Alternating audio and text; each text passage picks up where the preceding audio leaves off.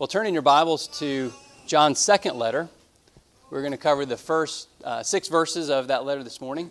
We just finished uh, his first letter over the last couple months, and we'll spend a few weeks here um, in his second and third letter. Second and third John are actually the, the two shortest books or letters in the New Testament. Uh, it's less than 300 words. It would actually fit on a single little small piece of papyrus that would be easily passed on on the Roman roads to different churches. So it's a very small little letter uh, that we're studying uh, next few weeks. So this morning we'll read the first six verses of 2 John. The elder to the elect lady and her children, whom I love in truth, and not only I, but also all who know the truth, because of the truth that abides in us and will be with us forever. Grace, mercy, and peace will be with us from God the Father and from Jesus Christ, the Father's Son, in truth and love.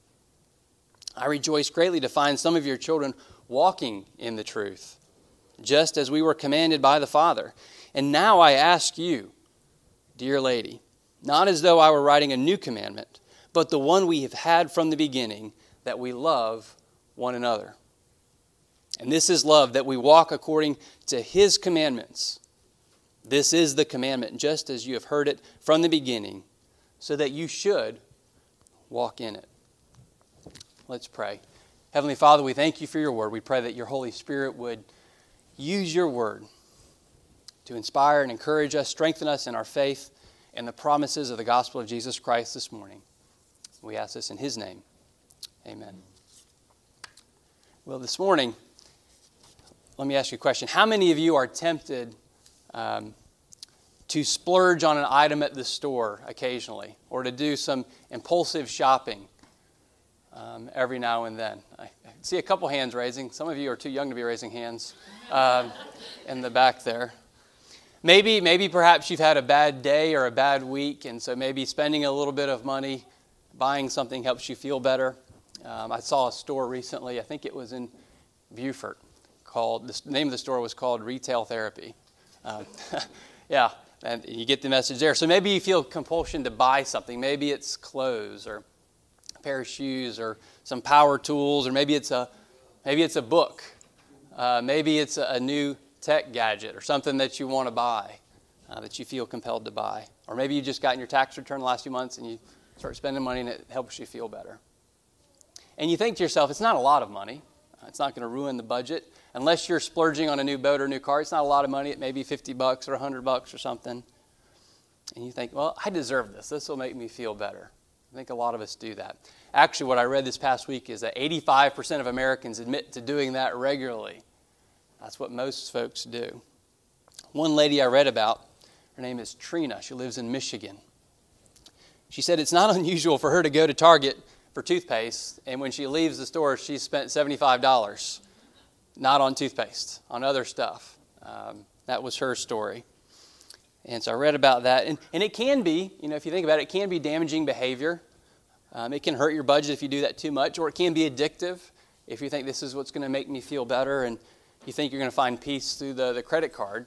When Scripture says peace is a gift from God through the Lord Jesus Christ as we receive His Holy Spirit. Well, one financial company I read about last week has designed this new app that's to help you prevent to help prevent you from impulsive compulsive spending. It's to help you keep on your budget, save money.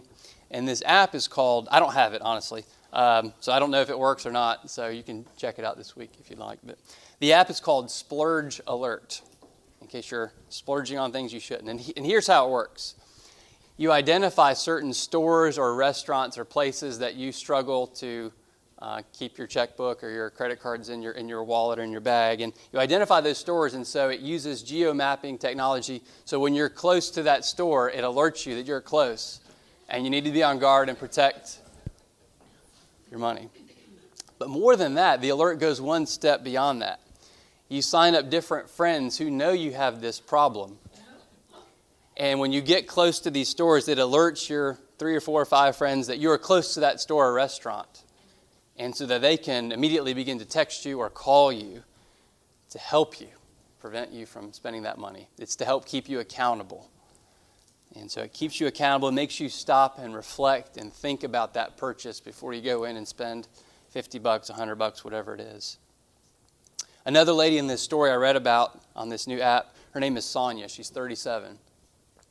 She says she's trying to save um, $1,300 for her daughter this year, and she says this app is going to limit her impulsive and compulsive spending and help her save money for something her daughter, a trip or something her daughter is doing later this year. Another person said they had a weakness for smoothies and sushi. And this app is going to help this person save a few hundred dollars this year by not just splurging on a smoothie or on sushi. And so this new app is designed to help you, uh, keep you accountable, and keep you alert to the disciplines of, or the danger rather, of undisciplined spending. Financial actions that can hurt your budget, can hurt relationships with others, actions that can hurt your ability to save for retirement, and it's supposed to keep you accountable and alert you to the dangers. As we begin this new letter, 2 John, this is really an alarm, an alert going out to a local church in or around the area of Ephesus. It's an alert, it's an alarm. And, and what he's doing here, John's doing, is he's not trying to alert you to financial issues. He's not trying to be Dave Ramsey or, or Clark Howard and alert you to problems of finances. He's alerting the people in and around Ephesus at a local church about the problem of false teachers, of heretics, people that are not teaching biblical truth. That's what he's doing. He's alerting them to false teaching. He's sounding this alarm and trying to keep them accountable to truth, the importance of maintaining fidelity to the Word of God. So that's what he's doing. And, and so this week we'll look at the first six verses, and this is more the positive side of his message, of this alert, this alarm. This is more the optimistic, the positive side, that he's heard some good reports about what's happening at this local church in or around Ephesus. And so this morning, here's what we're going to do. We're going to look at two things. Verses 1 through 3 is his greeting to Christians at this local church. And then verses 4 through 6 are guidelines for this local church that is still listening uh, to John the elder here. So let's, let's look at the first three verses, the greeting. Verse 1, he says, The elder, that's how he describes himself, to the elect lady and her children. John the elder. So in his first letter, if you remember, John didn't identify himself. We have to study in Scripture and outside of Scripture to identify that John was the author. Here, he identifies himself as, as the elder. He identifies his audience, and we'll get to that in a minute. He didn't do that in the first letter. And so here he describes himself as John the elder. And that word elder is the word um, presbyter. John the presbyter. And it could be one of two things. It could be a reference that John is advanced in age. It's at the end of the first century that he writes this letter. So it could be that he's, a, he's an older man, advanced in years. It could also be a reference to his position as a spiritual leader among that church or other churches. Could be one of those. It could be both of those. We're not really sure what, what he's identifying, but it could be both. And the people he's writing to, they understand who he is, and they are going to receive his authoritative words to them they understand that he is the last living apostle. He was one, not like us, one who was commissioned to write Scripture, inspired by the Holy Spirit to write Scripture. And so they're going to receive his words with authority. And so he says, John the elder, to the elect lady and her children. And so the question is, elect lady and her children. Is, is John writing to a Presbyterian woman near Ephesus? Is that what he's doing? Is John writing to this woman and her family? And is he writing to a woman named Electa? That's the Greek, Electa. Probably not. Some folks think so, but probably not. And there's a couple reasons why we think he's, he's not doing that. Number one, as we read through this morning and next week, the language is really not appropriate for, for John writing to a specific person, a woman, um, in this town of Ephesus. Um, it's not appropriate language for a real person, either in his statement in verses 1 through 2, his statement of love, his exhortation to love in verse 3, and in verse 5, it, be, it wouldn't sound right for John to call his love for this woman a direct command. It doesn't line up with a specific person. Second of all, as we read through this, uh, it's not real clear in the English, but in the Greek it's more clear. He's using second person plural pronouns. You plural. You, the Greek equivalent or the English equivalent of that Greek would be y'all. He's writing to y'all in Ephesus. And so it's more than one person, it's a group of people. And we see that in the Greek we read this. And then thirdly, this is a common thing in, in the Old and New Testament to identify a church um, as a, with feminine personification. And so, if you've read through some of the Old Testament, you see that The church, the people of God, is referred to as a wife, the bride, the mother. Um, sometimes, uh, Lamentations 1, after the fall of Jerusalem, Jeremiah says they're a widow because of what's happened in, in uh, Lamentations 1. Daughter of Zion in the Old Testament. And we see that also in the New Testament as well. Paul uses that in 2 Corinthians 11. says the church is the bride of Christ. Uh, Peter says she, the church who is in Babylon, meaning Rome. So we see that that is used throughout Scripture, that churches are identified with feminine personification. And so it seems here that John is writing to, not to a person, but to a local church in or around Ephesus. And it's hard to know why he does that. Perhaps he's just uh, adapting to local customs. That could be part of it. Another reason he could be doing this is if the church there is under persecution in Ephesus, this would be a way to keep them anonymous. And so this small little letter, it would have been a very small little piece of papyrus, could be transmitted down Roman roads to this church. And if anyone intercepted it and wanted to hurt the Christians there, they wouldn't know who he was addressing. And so it could be to protect these people. But he writes to these people. He says, To all who know the truth. That's what he says here in the beginning of these verses. And so I'm going to get to the importance of truth in verses 4 through 6. But here at this point, it's worth noting that John is acknowledging the fact that some are knowing the truth and following it, and others are not.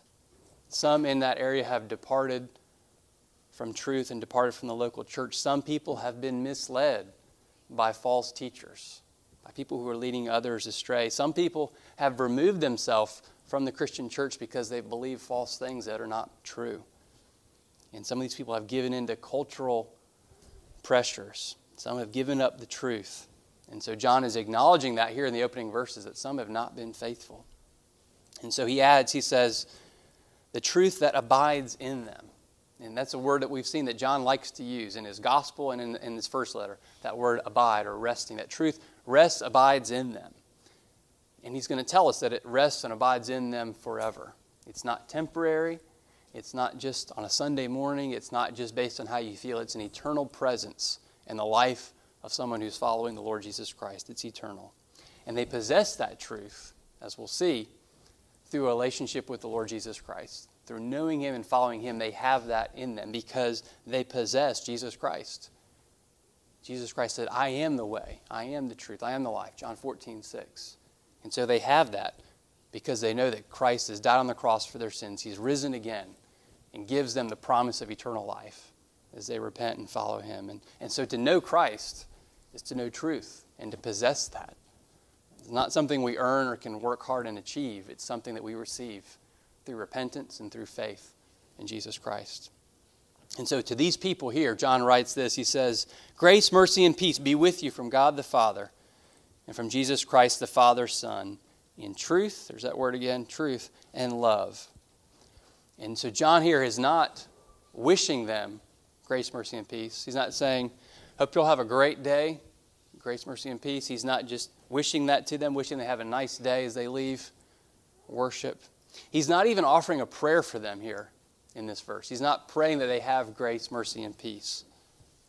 Rather, what John is doing, if you look closely at the verse, he is affirming that truth, that truth for them, grace, mercy, and peace, it exists for them now, will be with us. In the Greek, it's very emphatic. Will be with you now, is what he says grace, mercy, and peace. And so he's giving them a confident word of assurance. He's saying, You have this.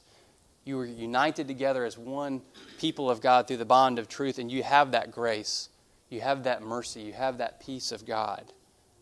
And they have God's grace because they know that God has sent His Son to die on the cross for them. They have that mercy because they've been spared the wrath of God on sin. And they have that peace that they know that God is their Father. He's not their judge. Their sins are forgiven. And so they have a relationship with Him. God offers us mercy because of the gracious gift of His Son. And, and those who know Christ know that peace that they have even today. And they don't wrestle. And you and I should not wrestle too much with that. That we have to make God happy, that we have to work harder to accomplish something, that we have to stress over does God love us? Is God doing what's best for us? We know that He'll do that. We've given our lives to Him, He's given His life to us at the cross, and so we know we can trust Him. We know He's our Heavenly Father, and we know His grace, mercy, and peace. It's not a wish, it's not a desire we have, it's something that we have, we claim because of what Christ has done for us. And so, John's greetings here in these first few verses are to those people who are faithful to the Word of God in this local church and continue to follow the truth despite false teachers who maybe they sound good, maybe they're articulate, maybe they have a great message that they're selling. But these people have rejected it because it's not true. It's not in line with the truth of Scripture. And so John assures them that they have the grace of God, they have the mercy of God, they have the peace of God, even today. And we need that reminder as well if we're following the Lord Jesus Christ. And so that's his greeting to these people. And so, with those greetings accomplished, now verses 4 through 6, we're going to look at two guidelines that he gives them. Two guidelines for these Christians in this local church. And so, the first guideline is truth. So, John is already in the first three verses, he's mentioned that word truth four times. Look at verse 1. He says, Whom I love in the truth. Also in verse 1, all who know the truth. Verse 2, because of the truth that abides in us, that rests in us. And then verse 3, grace, mercy, and peace be with us in truth and in love. So those are four times in three verses. And then now, as he gives these guidelines, he mentions it another time. So he's wanting people to get the message of truth here. He says in verse 4, I rejoice greatly to find some of your children walking in the truth. And so John is saying here, he's heard a report of this local church in Ephesus. He's heard that they're walking in the truth. And we don't know how he heard that. Maybe someone visited John. Maybe he wasn't traveling as much in his age. And so they gave him a report. Maybe that's how it happened. Maybe someone wrote another letter to John and he heard about what was going on in that church and was encouraged by it. But he's heard this positive report. And actually, here, the, the Greek word is that word eureka. He has discovered, he's found out something about these folks. And so we might say John's had this eureka moment. He's heard, discovered that they are walking in truth, despite the presence of these people who are attacking the church of Christ through their false teaching. He's discovered this, and he says they're walking in truth. And so, truth here is likened to a path or a road that you follow, that you continue on. And these people here have not wandered off to the left, they've not wandered off to the right, they've followed truth. They've not gotten lost in the woods. They haven't started believing different views on Jesus Christ. They haven't started believing different views on morality or on ethics, on right and wrong. They've followed Scripture. And if, if anything, that's a helpful reminder for us this morning, today. We can be tempted to believe some of God's Word, some of it. There's some nice things in this book, and not be, and not be affirmed to believe all of it we can be tempted to compromise some of our views, the views of Scripture, and compromise our views on what's right or wrong, or on morality, on truth. And so John says they're walking in the truth, they're maintaining truth, and he's encouraged by that. And I think John gives this guideline on truth. It could be for numerous reasons. This morning, I'll just mention a couple reasons I think he may give this. The first is it's easy in many ways to counterfeit the appearance of Christianity. It's easy to counterfeit the appearance of Christianity, especially here in South Carolina in the low country. It's very common. People can say, I'm, yeah, I'm a Christian, but not really believe the truth of who Jesus Christ is. And to believe Christ, you must believe His Word. He's commissioned the writers of Scripture. So you can't just say, I'm a Christian and not follow what He says. So individuals can give the appearance of being a Christian and not believe the promises of the gospel. If individuals can do it, a group of people can do it. Local churches can. They can claim they can have Presbyterian on the sign and not really be Christian. They can have Methodist on the sign. I might even say Anglican on the sign and not be truly following Scripture. And so, unless we're remaining in truth, those gatherings of people that are appearing to be Christian are, no, are nothing more than social clubs if they don't have the truth of Scripture to follow. And as we talked about a few weeks ago, the people of Mount Pleasant, the people of Charleston, the last thing they need is more counterfeit Christianity. People who are Christians on Sunday morning and then live a different life the rest of the week. People who show up on Sunday morning, dressed up, ready to go, but then live by a different set of values Monday through Saturday. People of our town don't need any more of those people. I think we've got plenty of them, honestly. One writer said that Christianity can be counterfeited by those who present the appearance of Christianity but not the reality, not the substance, not the truth of Christianity.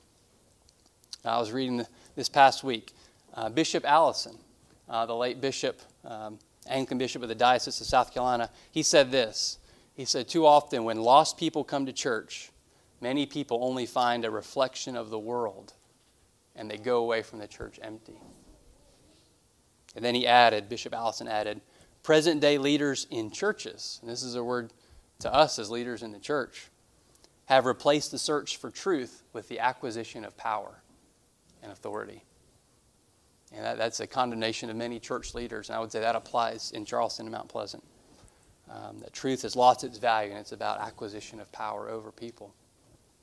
And so our city, Mount Pleasant, Charleston, needs people, men and women, boldly following the Lord Jesus Christ and embracing the truth revealed in Scripture about Christ and about His Word. And we do that, and I say this emphatically, we do it even when some parts of Scripture we struggle with. Some parts of Scripture we don't fully understand, but we know it's there. We wrestle with it. We still affirm it, even if it makes us a little bit uncomfortable. To say, yeah, I believe that. Scripture teaches that. I'm, I'm wrestling with it, but Scripture teaches it. And so John emphasizes truth here because Christianity is often counterfeited. Second reason I'll mention here is that we have the tendency, the proclivity to make ourselves the arbiters of truth.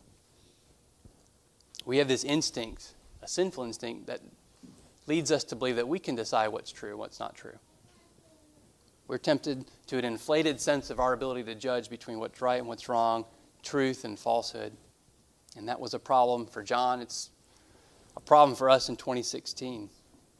A couple generations ago, C.S. Lewis wrote in one of his essays, he said, The ancient man long ago approached God as a person approaches his judge. That's how they used to do it. Today, the modern man, the roles are reversed. The modern man says he is the judge and God is in the dock. The trial may even end in God's acquittal. But the important thing is that man, us, we are on the bench and God is in the dock. And we are judging God to decide if we'll believe in him or not, whether he adds up to what we believe. And that's not how it works. God's not in the dock, we are. We don't sit as judge and jury over what's true and false. We don't sit on the bench and decide. One day we stand before Him, and He decides about us. The law says that we're all guilty in Scripture. The gospel says through Jesus Christ, you're not guilty because Christ has taken that on, that sin, the punishment for sin on Himself. And so you can have confidence. You don't have to go to death afraid. You can go with the hope that Christ has taken that on Himself. And so that when you appear before God as your judge, He's your heavenly Father and He welcomes you. And Scripture gives us that promise. That's not my word, that's God's word. And so I can say it with full confidence that we can stand before Him with that confidence. And so this morning it's a reminder that God has revealed His will for us in Scripture. He's revealed truth, and we must resist that desire, that temptation to accommodate cultural changes to fit what the secularists would want us to, to, to follow. God's revealed truth through His Son, through the Lord Jesus Christ, through His Word and we are to know truth, we are to believe truth, and the hard part is to live that out in Mount Pleasant, in Charleston. And your neighbors, your coworkers need to see that in all of us. And so the, the first guideline this morning is to remain faithful to the truth of God's word, to follow it, to follow the truth of who Jesus Christ is. And the second guideline that we'll cover quickly here is to love God and love others verse 5, he says, I write not a new commandment, but the one we have heard from the beginning, that we love one another. So, John is telling them here not only do you need to stay rooted in biblical truth, stay rooted in the truth of who Jesus Christ is, fully God, fully human, died on the cross for your sins. Not only that, but a group of Christians is bonded together as a communion based on that truth, and they demonstrate their adherence to that truth by loving others, loving God and loving others. And so John adds to that. He says, I'm going to define love for you. John says, Love isn't just being a nice person, it's not just avoiding being disagreeable. Love isn't just being a tolerant person. Love isn't a Sunday morning disposition or a Sunday morning activity. In verse 6, if you look at verse 6, he tells us what love actually is. He says, This is love, that we walk or we live according to his commandments. And so it's a helpful definition that love is obeying what God has revealed about himself and his will for us in Scripture. Do you want to be a loving person? Then be an obedient person. Be obedient to his word, to Scripture. To love others, you have to first love God and obey his word. And we can have confidence to obey his word because we know it's true. That's the relationship with truth. And there's confidence obeying the Lord because He's worthy of our trust. And He'll do what's best for us. And as I mentioned a, few minutes ago, our city needs to see more loving people who are obedient to God's Word. Not just being nice and tolerant and agreeable and getting along, but people who are obedient to the Word of God and demonstrating that in service to others. So the question this morning is do they see that in you? Do they see that in, in our church plant here in Mount Pleasant? Do others see each of us as, as individuals who are truly obedient to the Lord? Those are the two guidelines he gives us this morning truth and love. And truth is the foundation for the people of God. It's what unites us. Without truth, you can't really have true unity in a church. And we'll get into that a little bit more next week as we get into some of his other statements. But a commitment to truth demonstrates itself in loving others. And because you're committed to obeying the Word of God, you'll be committed to serving others, serving those people that God brings in your life who have needs, who need you to help them. And so this morning, as I thought about over the past week these two guidelines of truth and love for our church, I thought about our church plant. I thought about truth and love in light of our church plant, and I wondered, you know, hypothetically, how John would describe our new church. What would John say about Shem Creek Pres? as a church plant, as a mission church. And we're a small group of folks meeting here. We've been meeting here on Sunday mornings for, I think, nine or ten months, less than a year. So, what would John say about us? What would John the elder say about us? Would he say we're committed to truth? With so many other churches in our area compromising biblical truth, would John say, I've, I've had a eureka moment. I've discovered truth. I've heard this news about Shem Creek Pres, that they are faithful and walking in truth. Would John say, I've discovered and heard that you are demonstrating that commitment to truth by loving and serving others? And so, would the report back to John be one that he's encouraged by if he heard about us? My prayer is that as a new church plant for Mount Pleasant, for Charleston, we would be committed to truth and committed to serving others in obedience to God's commands. And as John said in his first letter, Several weeks ago, we talked about this. It should not be a burden to follow the Lord, to obey Him, and to serve others. It shouldn't feel like a weight that we carry on our shoulders, that it's difficult, that we have to obey the Lord and do His commands. It shouldn't feel like that. It should be a response to those who have experienced the grace of God, the mercy of God, and know that their sins are forgiven, that they have the hope of eternal life and that the hope of materialism, of more stuff in this world, is not going to satisfy them, but giving their life back to the Lord who gave his life for them is the response of those who have had the grace, mercy, and peace of God in their life. They know that God has spared them from the punishment of sin. It's a response to those who have the peace of God. They've placed their faith in Christ and they know their sins are forgiven. They know God is their heavenly Father. He's not their condemning judge. And because of that, John said in his first letter, the burden is light. There is no burden for those who are following the Lord. And the message here it's not a burden if we remember the death and the resurrection of Jesus Christ for our sins on the cross. Because it's at the cross where we see the grace of God and see Him demonstrate mercy to people like you and me who would never be, will never be good enough to earn it or deserve it. He didn't go to the cross to die for good people, He went to the cross and died for us. Our response is to be committed to truth and to love others, to serve others. And the gospel reminds us of that. It's a declaration of what God's done for us. Our response is to believe it, affirm it, and demonstrate it to others, loving them and serving them in our community. Let's pray. Heavenly Father, we, we thank you for your word. We thank you for the, the gospel reminders that you've died on the cross for us, that you have purchased our redemption if we repent of our sins and put our faith in you. And because of that, we know your grace. We've experienced your mercy, and we have your peace. And we thank you for that. We, I pray that each of us here would know that, would experience that, and would demonstrate that. Help our unbelief, Lord. Sometimes we wrestle with these truths and we doubt. So help our unbelief.